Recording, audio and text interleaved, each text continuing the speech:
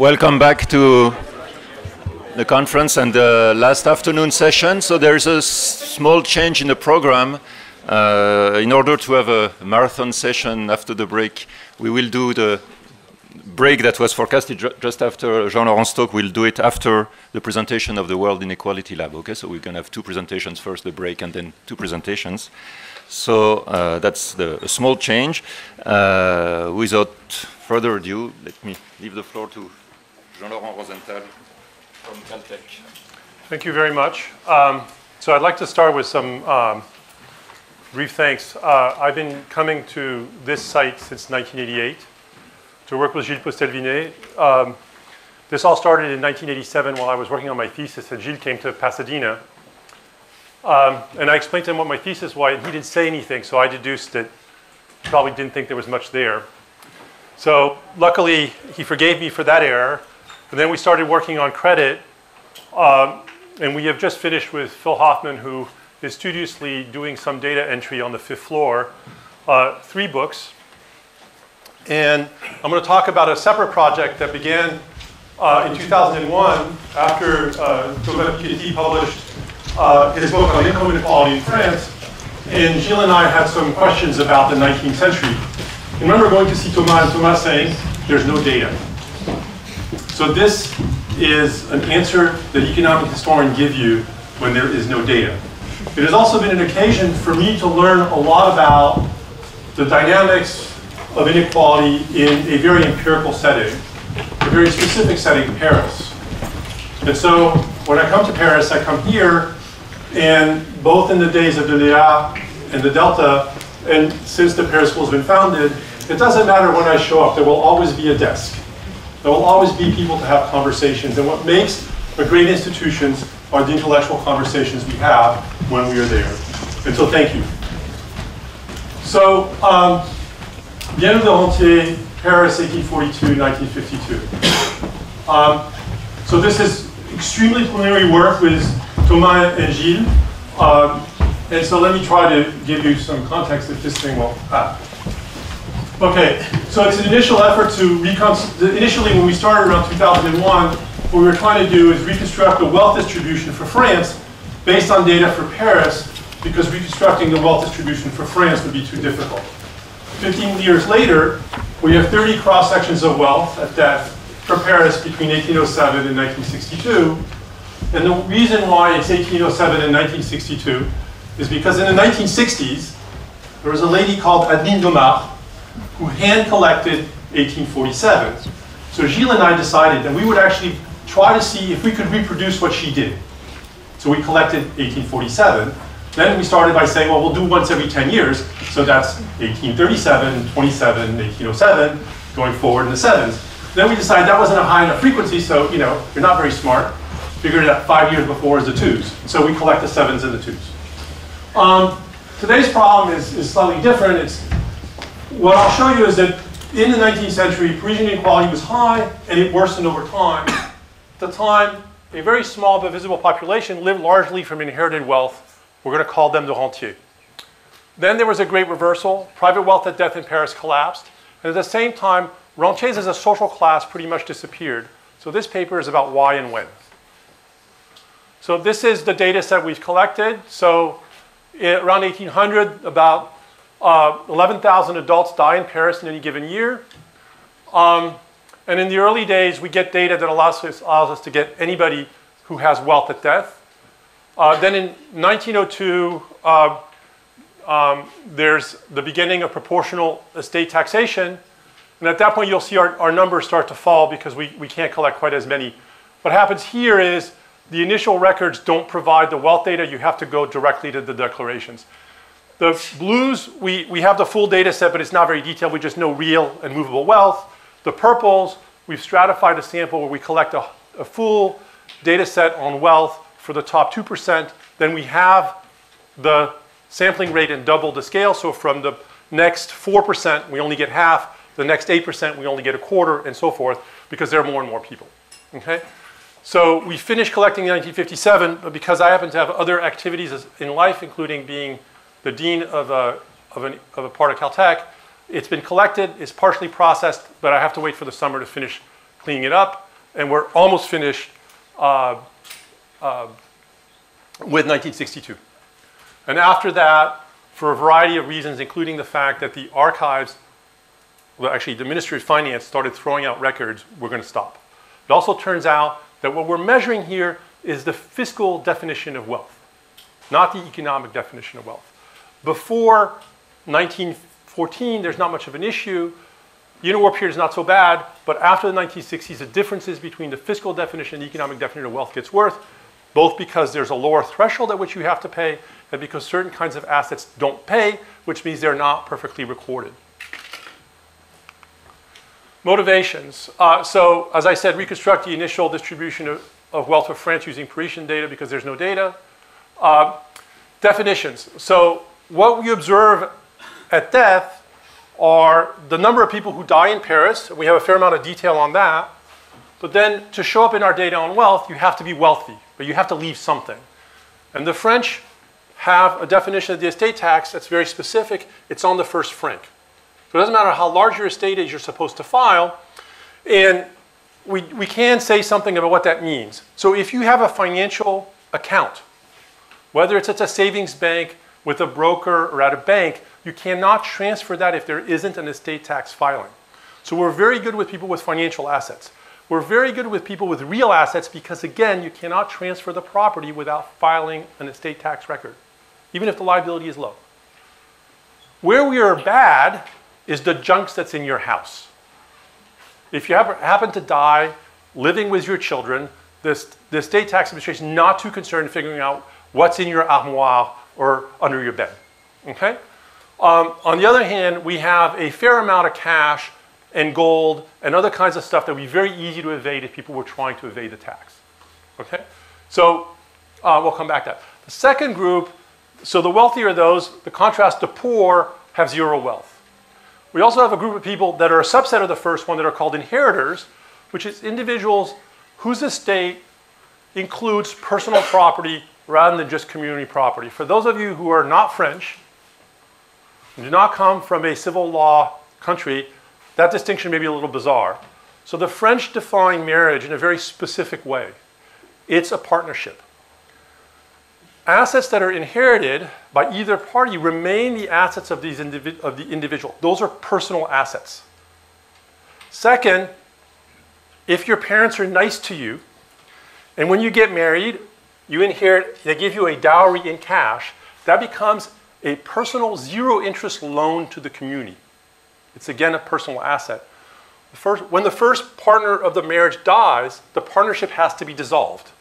So we get a record of both the cash transfers from the personal wealth into the community, as well as all the assets that remain that were inherited by that individual. And we also get a record of all the personal trans- uh, cash transfers from the other party. What we don't observe is the personal assets of the person that survives, because they're not part of the estate. Okay? So we do know for people who die married, what fraction of them inherited something, sometimes a lot. Third group is a group we defined in a paper uh, uh, we finished a couple years ago, are rentiers. And this is not the definition I'm going to want to use. I'm sorry, we usurped a word that in, in, in retrospect we shouldn't have used. They're inheritors whose bequest is less than the capital value of the wealth they inherited. Okay? So to be clear, these are individuals who, when they die, leave something behind that they could have constituted strictly out of what they inherited and the capital earnings from that. Okay? So think about this. You inherit a house, 30 years later you die, and the value of your estate is, is that house plus some other stuff, but that stuff is equal to the rents net of the maintenance of that house. You're a rentier from our point of view because you got to consume your entire labor income and still leave the bequest you left. Okay? So it's a notion of people, the that first definition of rentier is people who do not save out of labor income. Okay? The rentiers I want to talk about today really come from social history, and they're a subset of the rentiers above because they also have to be quite rich. They're the people who show up in Marcel Proust. Um, so if you want to, know, I, we could stop here, go read Marcel Proust. It'll take you the whole of the afternoon, and we'll be done. Uh, some details about these three groups. So the first thing is, this is the part about wealth inequality in Paris. So you, you read it from the bottom up. The bottom part is the top one-tenth of 1% wealth share in Paris at death. Okay, about 20% if you have to tell your parents about that. The next nine tenths of 1% gets you to about half of all the wealth in Paris and about 65% at peak, which is uh, in the decade before World War I. Okay? So Paris is extremely concentrated in terms of wealth. This is true of most large cities. This is not a characteristic of Paris that's exceptional. There, there are other things that make Paris exceptional. The next 4% um, are the dark gray bit. And then you notice that by then we're at somewhere near 90% for most of this period. There is some wealth below between the 80 and 95th percentile. But essentially, one of the reasons we're able to do this is for most of the period we're dealing with, people die with no wealth. Sort of almost 75% of everyone dies with no wealth. People come to Paris to consume. Maybe they come to Paris to accumulate human capital. But at the time, they largely came to Paris to consume. And you could see at the tail end the little dark vertical bars at the end. You could think about those two upper categories are kind of like middle class wealth at death. Okay? And for Paris, at least, it's an invention of the 20th century. But remember, and this is something we're going to have to, to, to keep in mind, is that wealth accumulation is a lifelong process. So when we start seeing things at death, you should think about this started happening 30 years before. It's a long process to build that wealth up. So cross sections reflect stuff that's happened in the past. This is another version of what's going on in Paris. So these are uh, particular wealth levels for fractiles. Uh, so the top one is the, the uh, uh, uh real inherited wealth for the person that's at the bottom, the top one tenth of 1%. Um, and you'll notice that roughly their wealth is multiplied by six and a half over the course of the 19th century. But what I want to attract your attention to is the fact that in, in the 1950s, their real wealth isn't very different from where we started. This is the full revolution of private wealth in France. And although if you actually do the numbers, the growth rate here is not quite as impressive, the decline is also that way. And this is the P95. Again, looks flatter, but that's just purely on a uh, on a visual scale, you get this very rapid growth of wealth, two before World War I, and a very rapid decline. Um, and the decline is more severe at the top uh, than it is uh, at the bottom. But we're actually interested in trying to understand where this comes from. Okay? Last part of the sort of background issue is remember, I told you there were these people who inherited wealth, and we wanted to figure out what kinds of individuals are such that they can constitute their bequest without consuming, without saving out of labor income. Okay? Most of us in this room will have, if we want to have a bequest or actually retirement, have to save out of labor income. It's unfortunate, but that's the way it is. So first, that group is small. In Paris, it's never more than 10% of the population. It's also an incredibly stable proportion of the, the fraction of the people who die. Okay? What's weird about this is, in particular in this period, the, the, the, group is very different over time, but as a proportion of the total population, it's relatively constant. Its share of wealth is somewhere around 60, 65%. And then uh, starting in the 1920s, starts to decline with an abrupt break during World War II. And you can add to that share of wealth, which is this is a share of wealth held by rentiers at death. The share of wealth, that difference is a share of wealth held by non-rentiers that they inherited themselves because there are people who are not rentier who inherit, right? So you inherit a thousand francs and you leave an estate of a million, you're going to have to save out of something else because there's no way you can capitalize a hundred francs or a thousand francs into a million francs. So that's that piece. So, but what I want to emphasize here is there is a suspicion you should start having that there is a form of wealth that doesn't look like life cycle savings. People who inherit large amounts of estate tend to leave large estates. Okay? So we're going to think about something called dynastic arithmetic, in which people aren't life cycle savers. They're saving with a goal of transmitting wealth through the generations. Okay? I'm not saying that's the only thing that goes on in the world, but we think that's an important dynamic for wealth. So um, the flow return to capital is what we're going to call R. Capital income is going to be RW. We're going to define about labor income as YLA, and we're going to use that as our deflator. Because if you're really rich, what you actually consume is labor, servants, and other kinds of individuals. Okay? It's a very different kind of activity, and you tend to consume a lot of bes bespoke goods, which are again going to be, have a very high rate of labor input. This growth at the rate growth G So the change in the cost of labor is just, one, uh, is just going to be uh, uh, increased by G. And so if our inheritor saves G over R uh, times, this is uh, now cap, RW is capital income, then his wealth next time grows at the same rate as the cost of labor. And if he continues to do this, and, oops, sorry. So his, he wants his wealth to grow at the rate that the cost of labor rose because if the rate of return is constant, then the amount of capital income that he has remains constant in years of labor. So if he has 12 servants, he can continue to pay the 12 servants over time. Okay? If he doesn't save at all, at some point, he consumes too much and he's going to become poor, he's going to have to fire his servants.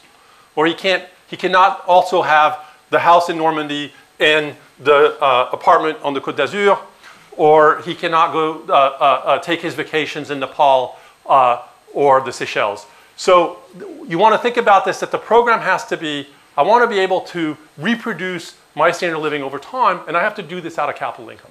Okay? And so consumption is essentially just in this case a residual.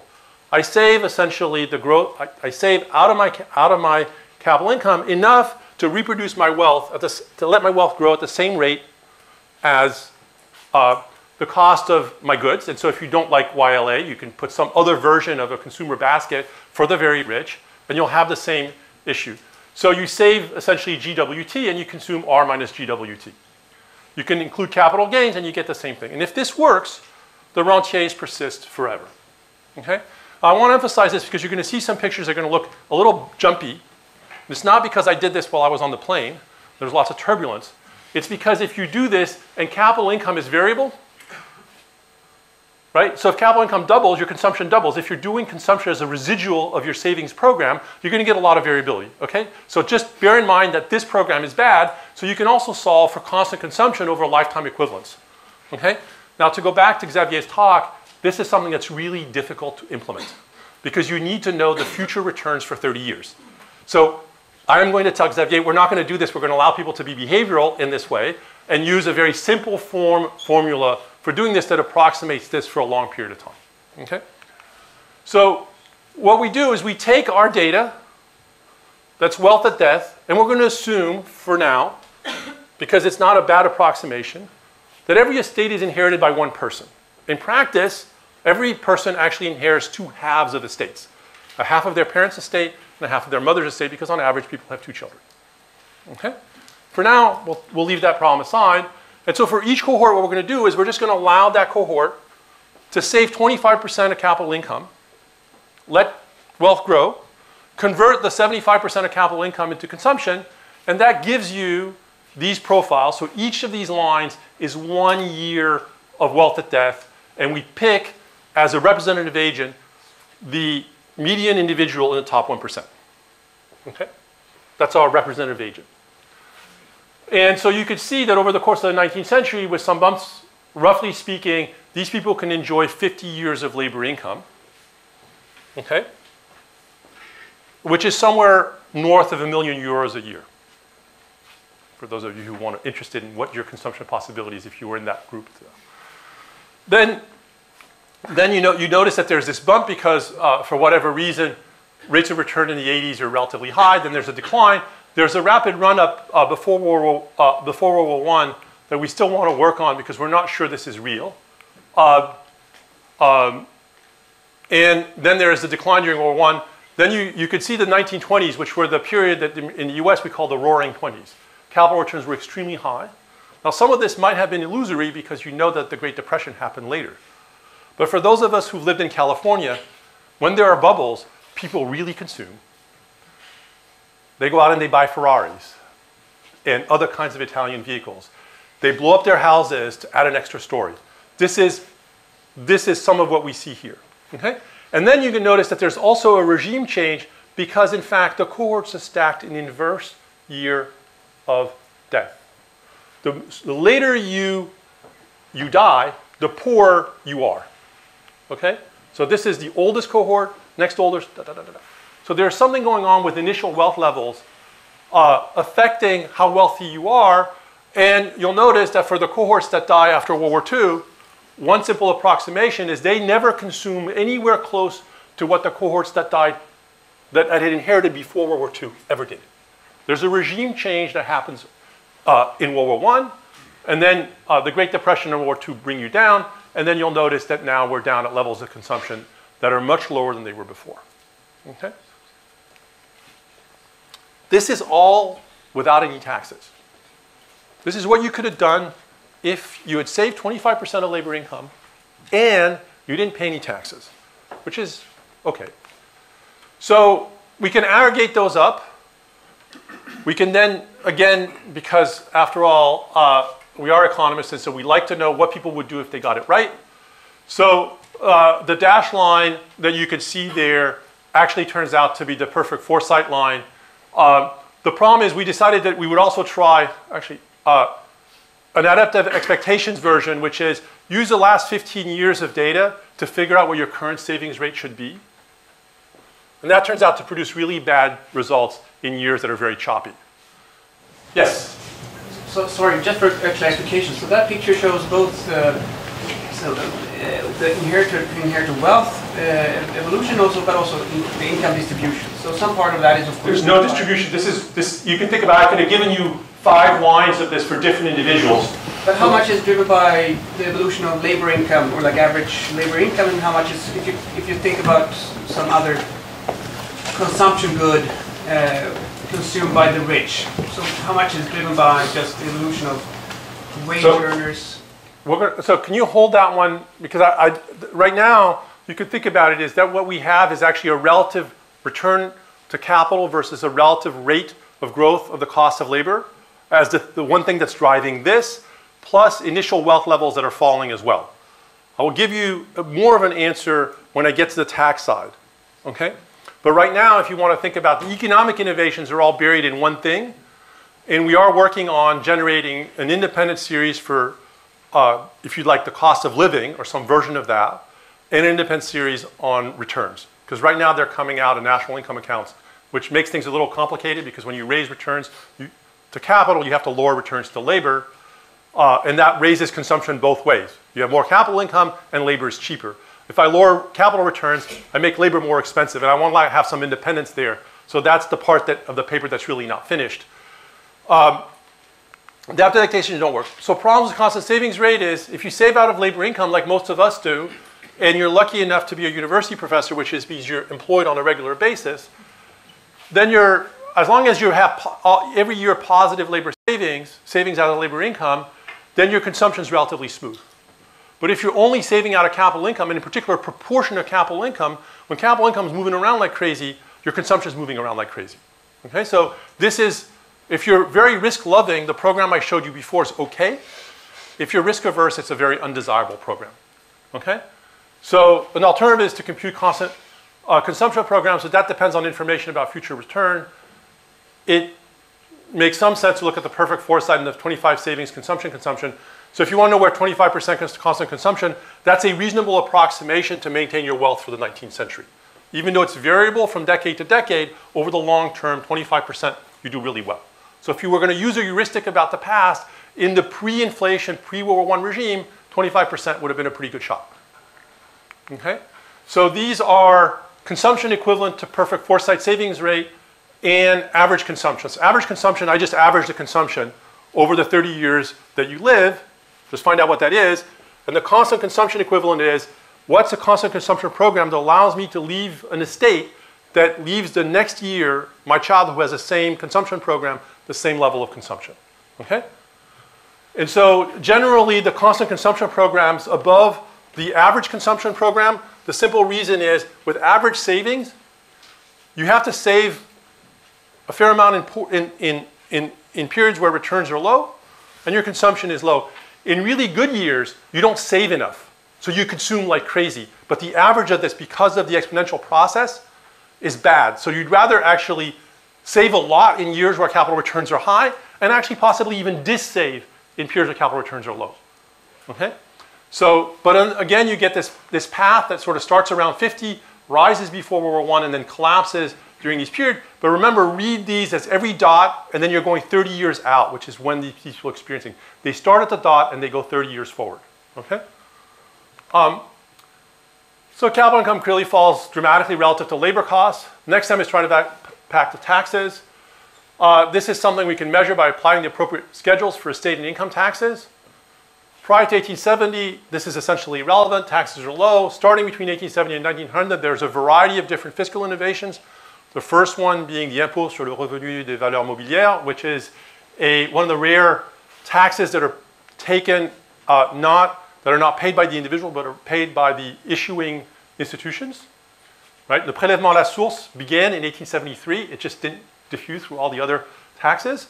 Um, after 1900, taxes rise and are revised frequently. In 1901, they put in an estate tax schedule that's progressive, and the income tax is 1915. We thought the estate tax was a dumb tax and they wouldn't move it around very much. Well, it actually turns out you actually, they changed it a lot. Okay?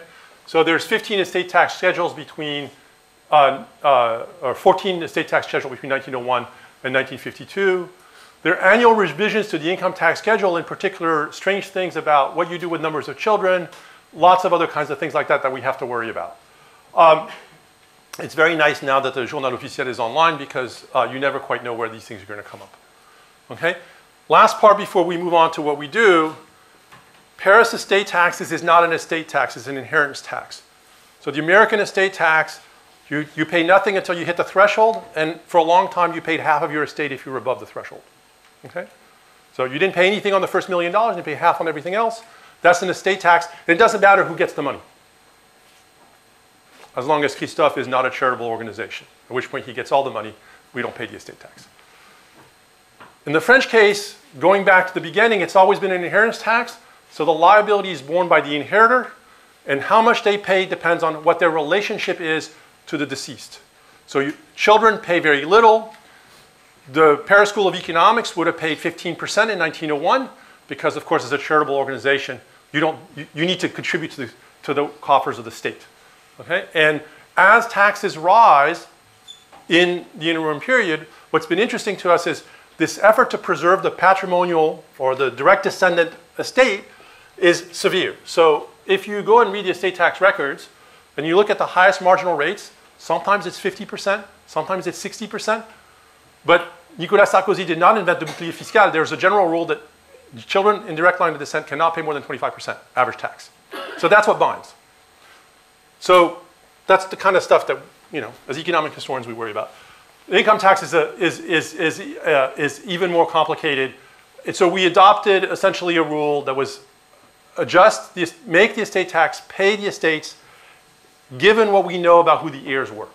If you have three children, divide the estate into three thirds, let them pay, that's the tax bill for that estate, and then we do this totally crazy thing, which is we reconstitute the estate give it to one person. Okay? And we do this and for every single estate, in the absence of being able to link our estates across different individuals and cohorts, there's no other way out of this process of trying to simulate what an estate might be. Okay? And I want to emphasize that there's a huge distinction between having a 20% cross section and the full population of the estates.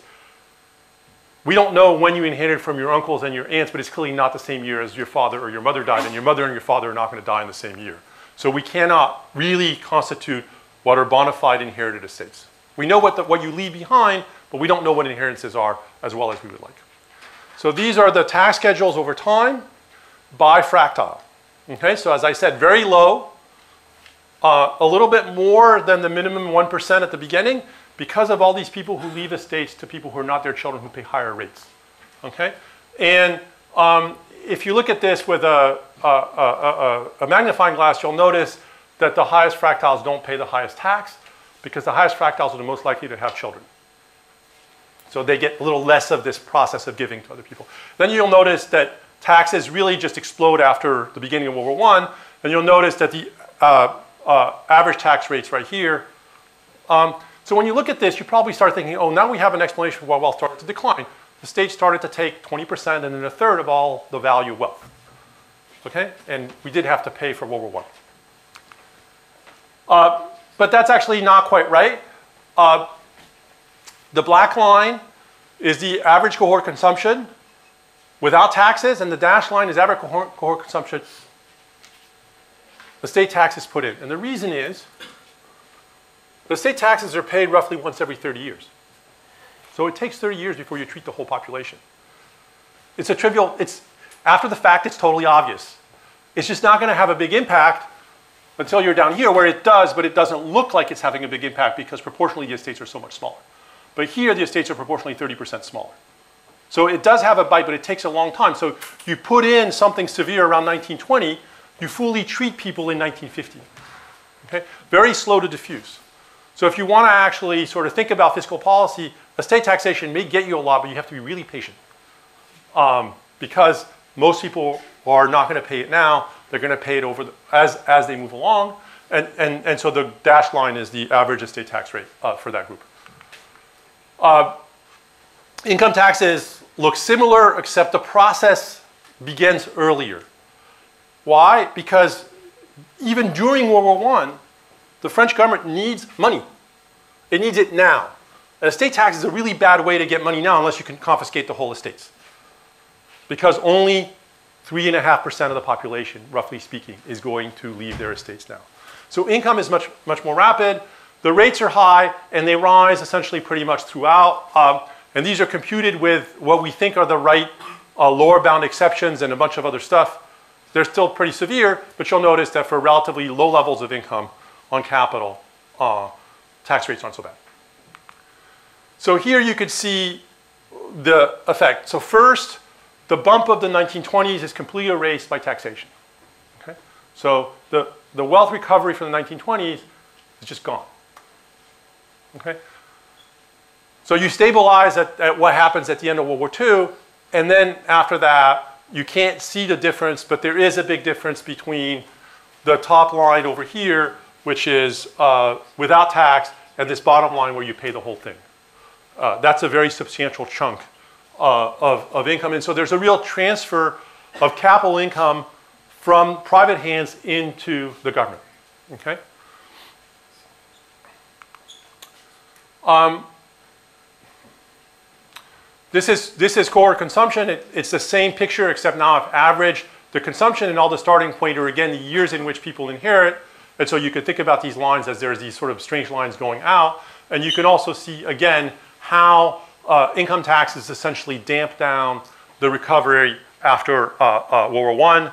Uh, and then again, at the end, how essentially taxes in some broad sense take away roughly half of the consumption possibilities of uh, the very wealthy. Um, so to go back to Daniel's question about how much of is what is what, okay, uh, we're going to do two different things. We're going to imagine what kind of estates individuals would have left if they had consumed as they could after taxes and saved all the rest. So we're going to essentially say that these are people who aren't just dynasts. In the sense, I want my children to be like me. Because my goal is have my children be like my parents. Okay, so I'm living in the 20s and the 30s, and I remember what it was like when my parents had 50 years worth of labor income. So I'm going to save like crazy to try to reconstitute the familial wealth. Okay? So that's one story. And then the other one is we're going to assume that, he, so we're going to go full dynast. People in 1842, they know the future. What could they do? So you can think about that. That's not the problem of an individual. That's the problem of the foundation of PSE. We want to think about having consumption possibilities not just now, but in 100 years. Okay? Now, the problem for PSE, hopefully, is that they don't have to pay income and estate taxes, but our people will as a dynasty. Okay? So this is the first counterfactual, and it's a little tricky to interpret. Uh, so the dash line and the, the bottom, uh, so this dash line is the one you saw before. This is what would have happened at 25% savings uh, uh Without taxes, this is uh, uh, what we think the consumption possibilities were with taxes. And then, what we, and, and then we add this last line, which is uh, a little difficult to interpret because it should actually be 30 years further. It's if these people choose this but don't pay taxes, what would their children's consumption possibilities look like? Okay? It's a bit of a goofy counterfactual.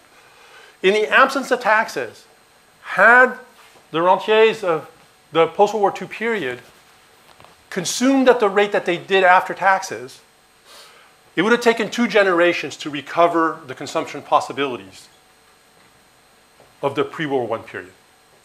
Because essentially their consumption possibilities triple between here and there. And if you triple it again, you get back, this is 5, that gets you to 15. Another three times will get you to 45, which is pretty much where you want to be. Okay? But they can't do that, of course, because they have to pay the taxes. Uh, so that's one way of thinking about the impact of taxes. The impact of taxes essentially makes it impossible to ever go back to the world you had before. This is another way of thinking about this process. So you just start with the 1842 cohort, and you tell it, look, World War I is going to happen. They're going to put in these taxes. They're going to do this other thing, and you want to equalize consumption forever. So there actually turns out to be a program that equalizes consumption forever at 38 years of labor income. But of course, what they have to do during the 19th century is just save like crazy. Because World War I is coming, and they're going to get taxed. And of course, it's almost like a sort of kind of useless race because as you save more, you get taxed, you, move up in the tax brackets. But they can do it. How, how severe is this savings program? This wealth here isn't the wealth of the person in the median of the 1%. It's the wealth of the person in the median of the top one tenth of 1%. So you moved one order of magnitude up into the wealth distribution. It's not a huge change in, in, in savings. Um, it's, it's moving from about 25% savings to, to around 40% savings, but it is non-trivial. And then you could see as, as time goes by and as they start paying these taxes, uh, they end back up down there. Uh, uh, other things, uh, so this is the actual inherited wealth profile. Uh, this is what they do if they don't adjust. They just say, hey, you know, happy days, we were consuming, I'm not, I'm not closing down the chateau. I am not getting rid of the maître d'hôtel. I'm just going to consume. Uh, it doesn't matter how, too much what you do, and I think this goes to, back to Daniel's issue. There doesn't seem to be a huge sensitivity between 1924 and 1928 as to when they run out of money. Um, if I choose a slightly higher rate of return in the 20s, I can, I can get them to 1928. I have never been able to get them to 1930. Okay? So there was an adjustment that was severe. And this is something which, again, is the interaction between different issues. So one of the things I've been interested in is, in World War I, large numbers of men die. Not a lot of women die. So did you keep the women servants, but did you just not replace the men? Is this the adjustment? Which is again a form of, it's not an optimal thing, but it's a reasonable thing for somebody to do, right? You don't want to look like if you've had these people working for you for a long time, but as the men are brought into military service, you don't replace them. So that may have been most of the adjustment, but this is something we're going to actually try to investigate. Okay?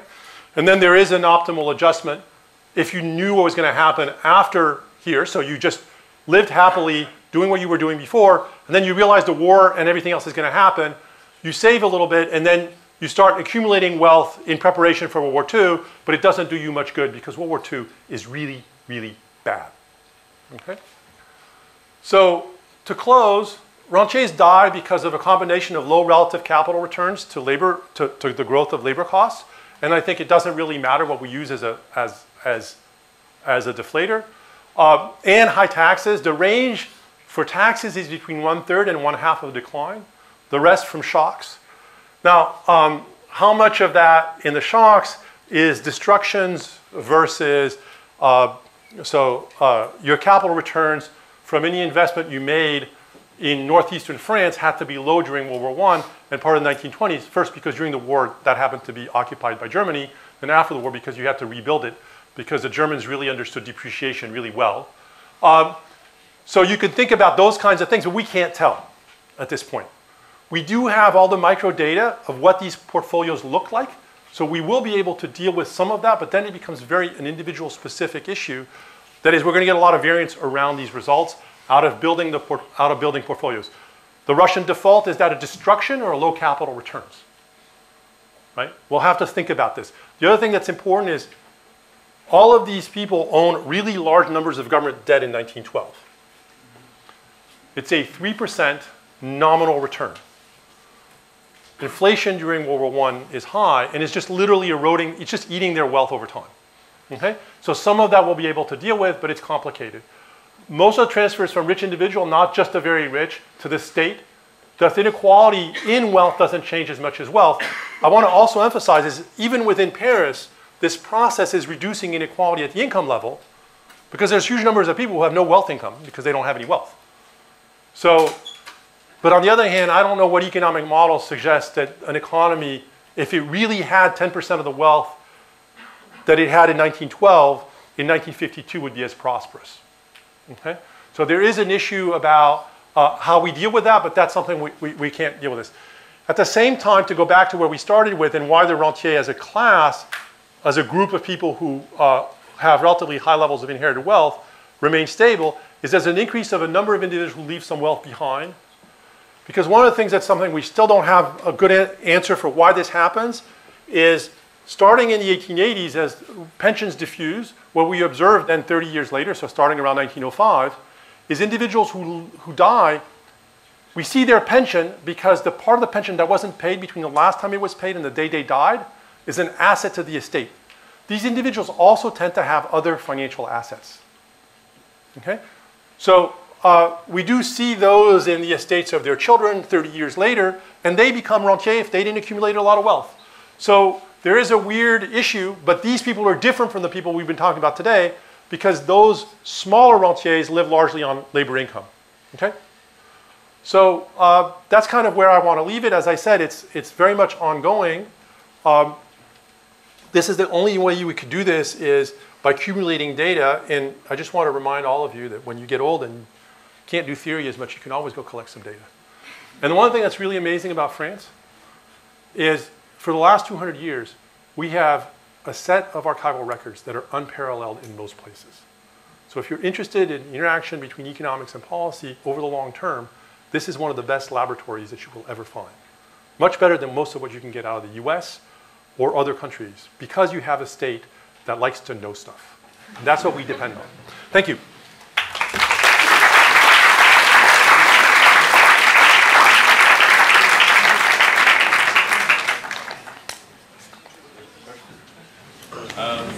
questions. Uh, how does the, your rentiers differ from the leisure class? So, uh, oh, so this is something that we're probably not going to do in this paper unless we want to turn it into, you know, um, a lot of them have retirement income. We can see that. A lot of them have other ways in which in the estate. So these people we know a lot about them are uh, have been at some function in a business or something like that. So we do know more about this. We haven't classified them. The, the, the problem, and, and, and I think other people have worked on other kinds of data, is what do you do about women? So the women of the 99.5 don't usually report an occupation. Okay? Uh, and, and so for men, it's pretty clear that, that un, until some age, for those that die somewhat young, you know, they're the administrator of this company, they're the director of that company, they're the ambassador at this place, they're the gouverneur de la Martinique. Uh, he shows up in 1902 because if you remember, the Martinique blew up in 1902 and he happened to be a resident of Paris, so we see him. So they are not idle. It's just that whatever you could imagine their labor income could be, most of their consumption possibilities are coming out of capital. It's not, I don't want to suggest that they're idle. It's just it's just a completely different level of issue. Okay. Um, and, and can you investigate the role of the role inflation plays? Yeah, so we can net out. Uh, so th there's a picture I didn't want to show because how many of these things you want to see is, is, is limited. Uh, where we did it real versus nominal, that doesn't make much of a difference. That's a different question from saying there's this average. Uh, and the reason why I didn't want to do it that way is because it's really complicated to reset all of the estate, all the tax uh, brackets real. And that just introduces a lot of measurement error.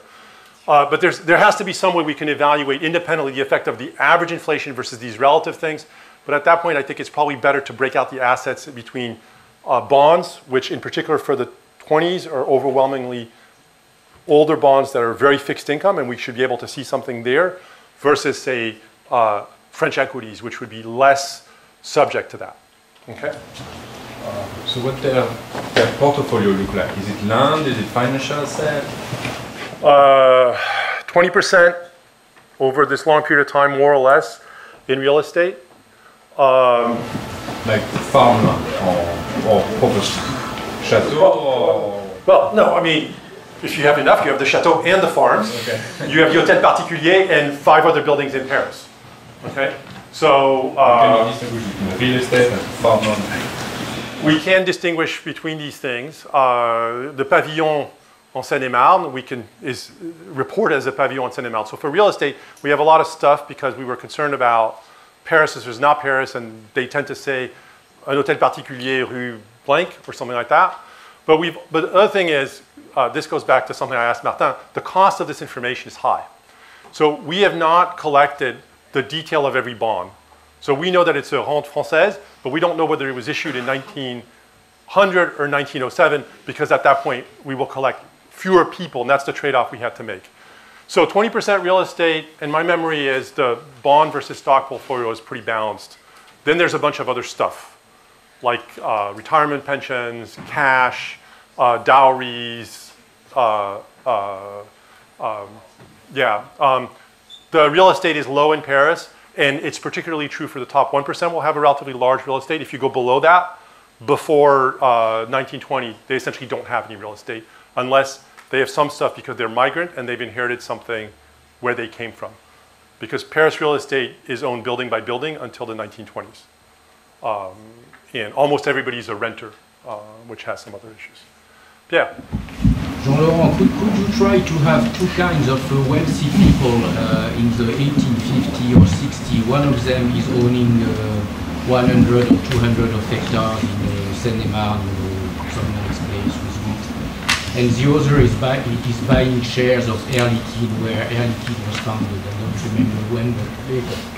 Later, but, but a long time ago, you know, perhaps 18, look, some, some French industrial companies set up before the First World War, you know, I was thinking reality, I mean, it couldn't be really. Schneider.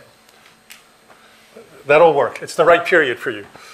So, so we, so some of some of the way this historical project has occurred, initially, so the estate tax records are come in two volumes. One which is a list of names. So every time somebody dies, they, they add the name, the date of death, and some information about address. And then they wait. It's, it's, it's like a, a, a fish that waits for prey to come by, which is for somebody to come in and declare some wealth. And before 1870, they report movable and real wealth for individuals. So we have that piece before 1870. After 1870, those records just give you the dates at which people came to declare their estate taxes. So we had to collect that. This is not my question. No, but let me get back. You imagine this is somebody who perhaps didn't exist, but it's just to check that what you are measuring is the rate of return of people who might have been smart or not smart, either or not either.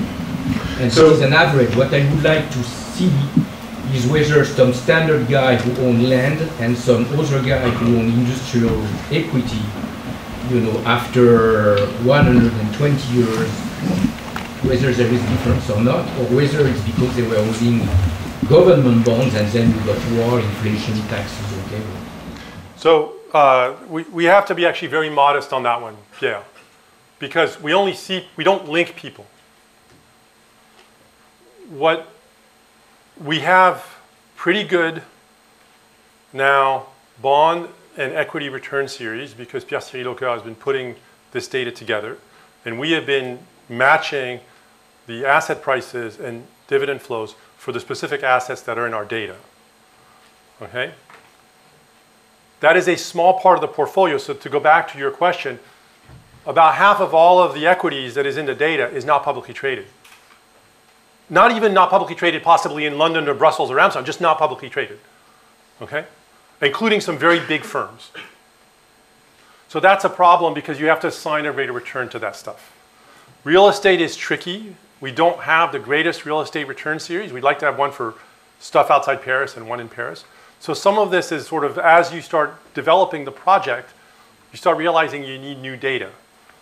And you know, we've been talking since I came here about putting together a wage series of people who might have been employed by rich people.